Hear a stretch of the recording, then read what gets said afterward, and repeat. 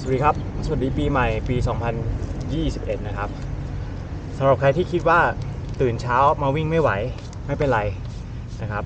ตื่นตอนไหนก็วิ่งตอนนั้นแหละ ไม่จำเป็นต้องตื่นเช้า เริ่มช้าดีกว่าไม่เริ่ม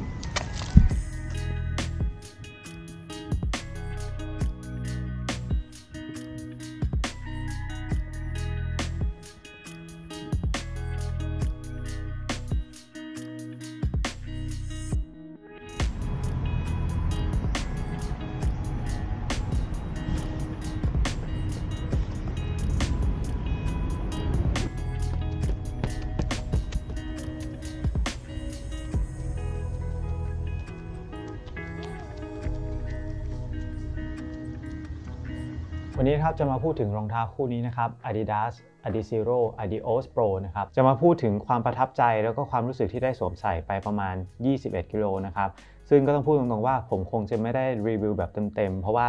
นี่ไม่ใช่รองเท้าของผมนะครับ ผมก็ต้องส่งคืนเจ้าของเขานะครับ ก็ต้องขอบคุณพี่โมดจาก s a f o Runner มากๆครับที่ให้ยืมรองเท้ามาทดลองใช้นะครับ คราวนี้สิ่งที่ผมอยากจะพูดกับรองเท้าคู่นี้นะครับ เรื่องแรกก็คือเรื่องของ key highlight ที่มากับรองเท้าคู่นี้มีอะไรที่น่าสนใจบ้างนะครับไล่มาจากพื้นเลยนะครับพื้นของรองเท้าคู่นี้นะครับเป็นยางนะครับอย่างที่เห็นคือโคตรมินิมอลแทบจะไม่มีอะไรเลย ไม่มีดอกยงดอกยางอะไรเลยนะครับอันนี้เป็นสิ่งหนึ่งที่น่าเป็นห่วง เพราะว่าเรื่องของความทนทานเนี่ยอาจจะเป็นปัญหานะครับรองเท้าคู่นี้ใช้มาประมาณ 100 กิโลนะครับก็เริ่มแสดงให้เห็นถึงความสึกหรอบ้างแล้วนะครับ ตรงบริเวณของ ขอบขอบข้างๆ ที่ใช้รองเท้านะครับ ก็น่าจะเป็นปกติของรองเท้าสาย racing shoe นะครับที่ต้องการจะลดน้ำหนักนะครับแล้วก็เรื่องของความทนทานอาจจะไม่ใช่เรื่องหลักที่นักวิ่ง หรือว่าคนที่จะครอบครองรองเท้าคู่นี้เนี่ยให้ความสนใจมากเท่าไหร่ ก็เรื่องของการยึดเกาะสามารถทำได้ดีในพื้นผิวที่เรียบนะครับ โดยเฉพาะพื้นถนนหรือว่าทางลาดยางยึดเกาะได้ดีมากๆนะครับ ก็ค่อนข้างน่าแปลกใจเลยทีเดียวนะครับ อีกอย่างนึงก็คือ ช่วยลดน้ำหนักของรองเท้าคู่นี้ให้ลดลงด้วยนะครับ เรื่องที่2นะครับก็คือเรื่องของโฟม หรือว่ามิดโซของรองเท้าคู่นี้เนี่ยเป็น Adidas Light Strike Pro นะครับถือว่าเป็นโฟมที่เบาแล้วก็เด้งที่สุดเท่าที่ Adidas มีณตอนนี้ ก็ต้องบอกว่าน่าสนใจมาก ๆ กับโฟมตัวนี้เพราะให้ความรู้สึกที่ดีมาก ๆ ในการสวมใส่นะครับใส่เข้าไปแล้วรู้สึกแบบเออมันมันนุ่มๆ เด้งๆ พูดไม่ถูกเหมือนกันนะฮะโฟม Light Strike Pro นะครับก็จะมาทั้งแถบแบบนี้เลยนะครับ ตั้งแต่ส้นเท้าจนถึงหน้าเท้า แต่บริเวณหลังเท้าเนี่ยจะแยกออกเป็นเรื่องของคาร์บอนไฟเบอร์ผสมไนลอนตรงบริเวณนี้บริเวณส้นเท้านะครับ แล้วก็มีตัวโฟม Lightstrike Pro ลองไปอีกชั้นหนึ่ง แต่ว่าบริเวณหน้าเท้านะครับ จะมีคาร์บอนเหมือนกัน แต่ว่าเป็นคาร์บอนแบบเส้นนะครับ เพื่อที่จะให้มันสัมพันธ์กับการเคลื่อนไหวของนิ้วเท้าเรานะครับ เขาเรียกว่า energy rods นะครับ ก็จะเป็นแท่งคาร์บอนที่ ออกมาเป็นเส้นๆนะฮะซึ่งถือว่าทำได้น่าสนใจแล้วก็แตกต่างมากๆ แล้วผมรู้สึกได้ถึงความตอบสนองของไอ้ไอ้แท่งคาร์บอนตรงนี้บริเวณหน้าเท้าจริง ๆ เวลาวิ่งนะครับ ถือว่าเป็นการดีไซน์ที่น่าสนใจ และคิดว่าน่าจะมีผลจริง ๆ ในการวิ่งด้วยนะครับไล่ขึ้นมาข้างบนก็จะเป็นเรื่องของ upper นะครับ ซึ่ง upper ตัวนี้มีชื่อเรียกว่า sailor mesh นะคล้ายๆ sailor moon อะไรประมาณนี้ อาจจะไม่ใช่ upper ที่ดูบางที่สุด ยืดหยุ่นที่สุด แต่ผมคิดว่าเป็นอัปเปอร์ที่ใส่ได้สบายนะ คนที่มีหน้าเท้ากว้างอย่างผมนะครับ ก็สามารถใส่ได้สบายไม่มีปัญหานะครับ เรื่องของการระบายอากาศเนี่ยคิดว่าไม่มีปัญหาแน่นอน เพราะว่าดูจากรอบๆแล้ว รูพรุนเต็มไปหมดเลย น่าจะลดน้ำหนักของรองเท้าได้พอสมควรนะครับ การร้อยเชือกของรองเท้าคู่นี้นะครับจะเห็นว่าสามารถที่จะทำการคัสตอมการร้อยเชือกในแบบที่เราต้องการได้นั่นเองนะครับลิ้นรองเท้านะครับมีความบางมากๆ แล้วก็มีเรื่องของ padding นะครับหรือว่าความนุ่มๆข้างในอยู่ ข้อดีอย่างหนึ่งก็คือมีการ cut หรือว่าการตัดบริเวณปลายลิ้นออกครับทำให้ตรงนี้เนี่ยไม่เกิดการเสียดสีกับบริเวณข้อเท้าเรานะครับ เรื่องของส้นเท้านะครับ อย่างที่เห็นก็คือไม่ได้มีโครงสร้างหรือว่าการ support อะไรแต่อย่างใด แต่ว่าส่วนตัวผมไม่ได้มีความรู้สึกมีปัญหาอะไรกับตรงนี้นะครับ และที่สำคัญคือไม่กัดไม่แรงทั้งสิ้นนะครับ ไม่ว่าจะเป็นหน้าเท้ากลางเท้า ส้นเท้า ใส่แล้วไม่มีปัญหาการกัดเท้าหรือว่าอะไรเลย ถือว่าเป็นรองเท้า racing shoe ที่ให้ความสบาย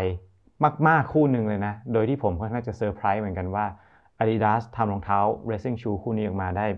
น่าสนใจมาก ๆ แล้วก็ลงตัวมาก ๆ ก็ไม่น่าแปลกใจครับที่ว่าทำไมรองเท้าคู่นี้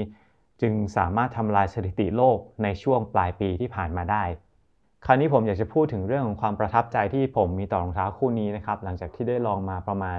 21 กิโลเท่านั้นเองนะครับ ก็อาจจะไม่ใช่รีวิวอะไรนะครับ แต่ว่าผมรู้สึกได้เลยว่ารองเท้าคู่นี้เนี่ยสิ่งแรกที่ชอบก็คือเรื่องของ fitting แล้วก็ความรู้สึกที่ได้รับจากรองเท้า คือสวมใส่เข้าไปครั้งแรกปุ๊บเดินปุ๊บ ผมรู้สึกเลยว่า เฮ้ยนี่เป็นรองเท้าที่น่าสนใจแล้วก็ดีมาก คือผมเข้าใจว่ารองเท้าแบบนี้มันเป็นลักษณะคล้ายๆ เปรียบเทียบนะ คือมันเหมือนซูเปอร์คาร์ ผมเชื่อว่าบางทีเราไปนั่งรถทุกคันอะความรู้สึกเราก็ไม่ได้ชอบรถทุกคันถูกไหม คันนี้มันเป็นรถซูเปอร์คาร์ที่ผมเข้าไปนั่งแล้วผมรู้สึกผมชอบผมอินกับมันอะอาจจะด้วย fitting อะไรบางอย่าง ความไม่บีบรัดรูปทรงที่มันอาจจะดูไม่แบบไม่เวอร์วังเกินไป โฟม Lightstrike ที่ให้ความรู้สึกเด้งนิดๆมีความเบลซี่นิดๆผมรู้สึกว่าเออมันกำลังพอดีไม่ไม่เยอะไม่มากจนเกินไป แล้วยิ่งพอได้ใส่วิ่งอะ่ะรู้สึกเลยว่าโอ้มันมันเป็นรองเท้าที่แบบกำลังพอดีพอดี คือไม่เข็นไม่เข็นเราจนเกินไป ไม่เคี่ยนตีเราจนเกินไป อันนี้ผมผมเห็นด้วยกับเรื่องหนึ่งที่ AIM Sneaker On Site เคยทำวิดีโอพูดถึงรองเท้าที่แบบว่า ต้องการที่จะผลักเราไปข้างหน้า ต้องการที่จะพุชเราไปอีกstep หนึ่งอะไรเงี้ยแต่ว่ารองเท้าคู่นี้มันไม่ใช่ character แบบนั้นอะมันเป็น character แบบว่าเราพร้อมที่จะช่วยคุณ ถ้าคุณมีแรงมากพอ หรือพูดง่ายๆว่ามันกำลังพอดีพอดีในสไตล์ผมนะในใน feeling แบบผมที่ผมชอบ ถือว่าตรงนี้ลงตัว เรื่องที่ 2 ที่ผมชอบนะครับก็คือเรื่องของน้ำหนักที่ผมคิดว่า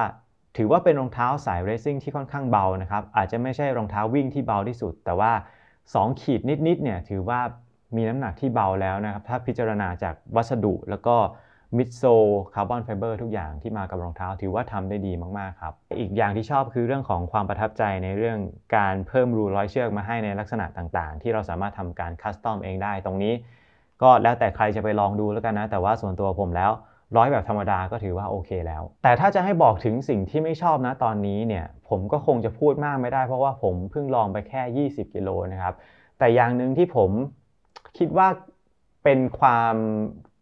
เป็นจุดสังเกตแล้วกันก็คือเรื่องของ sizing ที่ผมไม่สามารถแนะนำได้แบบเต็มปากว่าควรจะ sizing เป็นยังไง หรือว่าใส่ไซส์เท่าไหร่ อยากให้ทุกคนมีโอกาสได้ลองมากกว่านะเพราะว่าอย่างผมเนี่ยสามารถใส่ไซส์เดียวกับเจ้า Vaporfly ได้ แต่อย่างที่บอกไปว่า Vaporfly กับตัวนี้เนี่ยผมคิดว่าผมสามารถ up size ขึ้นได้อีก 0.5 ก็ไม่น่าจะมีปัญหาอะไร เพราะว่าผมเป็นคนที่หน้าเท้ากว้างแล้วก็ชอบ เหลือพื้นที่นิดหน่อยในรองเท้านะครับ ก็อันนี้อาจจะต้อง